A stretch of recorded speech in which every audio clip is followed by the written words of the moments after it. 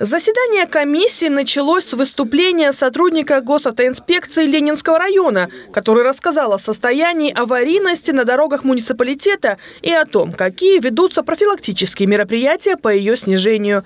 Он отметил, что количество ДТП снизилось на 9%, но цифра недостаточная. Необходимо еще больше уделять внимание вопросам организации дорожного движения. Затронули и тему детской безопасности.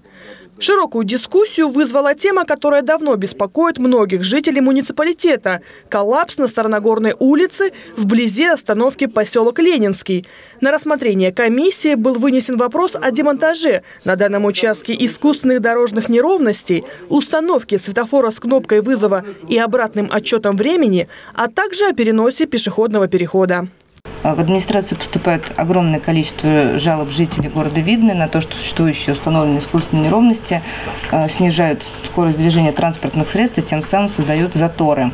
Члены дорожной комиссии предложили сначала установить светофор, а потом уже убирать лежачие полицейские. Ведь в обратном случае переходить дорогу здесь будет небезопасно. Я так понимаю, члены комиссии предлагают голосовать за решение о совмещении сроков демонтажа и установки. Я правильно формулирую вопрос? Это общее, ну, как бы, мнение членов комиссии большинства?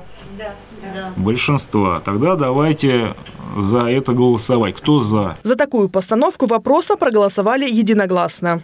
Максимально быстрое поручение принять меры к размещению там светофорного объекта. Я так понимаю, помимо светофорного объекта, там необходимо еще сделать э, под, подходы, да?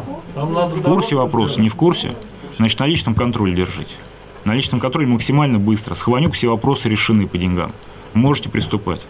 Не позднее 31 декабря все работы должны быть сделаны, но Сергей Гаврилов настаивает, чтобы реконструкция завершилась до первого снега. Юлия Погасян, Александр Логинов, Ольга Садовская. Видное ТВ.